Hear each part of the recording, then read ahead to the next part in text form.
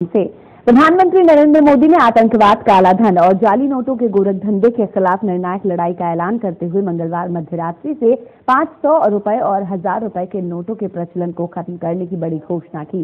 सत्ता संभालने के ढाई साल बाद राष्ट्र के नाम अपने पहले टीवी संबोधन में प्रधानमंत्री ने कहा कि मंगलवार रात बारह बजे से एक हज़ार रुपए और पाँच सौ रुपए के नोट वैध नहीं होंगे और ये नोट कागज़ के टुकड़े रह जाएँगे।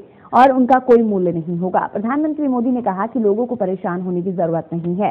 30 दिसंबर तक 500 और एक हज़ार रुपए के पुराने नोट बैंकों और डाकघरों में जमा कराए जा सकते हैं।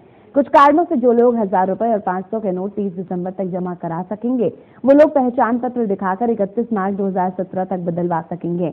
9 नवंबर को बैंकों में पब्लिक डीलिंग नहीं होगी। प्रधानमंत्री के संबोधन के बाद से अंडमान निकोबार द्वीप समूह में भी लोगों में काफ़ी असमंजस की स्थिति देखी गई।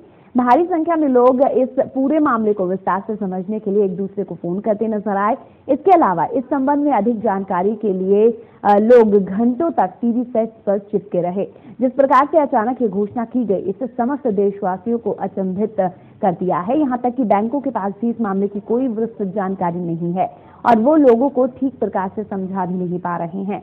वहीं जैसे ही कल रात के बाद से 500 और 1000 रुपए के नोट का प्रचलन एकाएक बंद होने और उसके बाद आज यानी 9 नवंबर को बैंकों के भी बंद रहने की घोषणा हुई, इससे द्वीपवासियों में काफ़ी भ्रम की स्थिति उत्पन्न हो गई है और लोगों के अंदर इसे लेकर खलबली मच गई।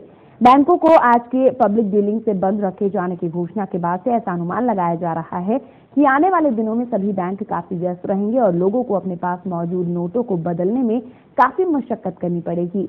ऐसे ही उम्मीद की जा रही है कि अंडमान निकोबार प्रशासन भी आज या कल इस संबंध में कोई विशेष परामर्श जारी कर सकता है ताकि लोगों को पुराने नोट बदलने के लिए संघर्ष या भाग भाग दौड़ ना करनी पड़े।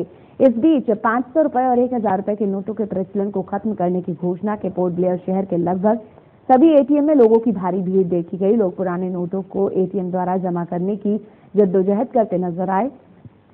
नोट जमा करने के लिए लोग रात को घंटों तक लाइन में एटीएम के सामने खड़े रहे। इसके अलावा रात भर लोग गोलघर स्थित अनिडको पेट्रोल पंप में अपनी गाड़ियों पर तेल भरवाने के लिए लंबी कतारों में खड़े देखे गए। सही मायनों में आने वाले कुछ दिन लोगों पर काफ़ी भारी पड़ने वाले हैं और उन्हें काफ़ी दिक्कतों का सामना भी करना पड़ सकता है। कुल मिलाकर लोग मोदी सरकार के इस ऐतिहासिक फैसले का स्वागत कर रहे हैं।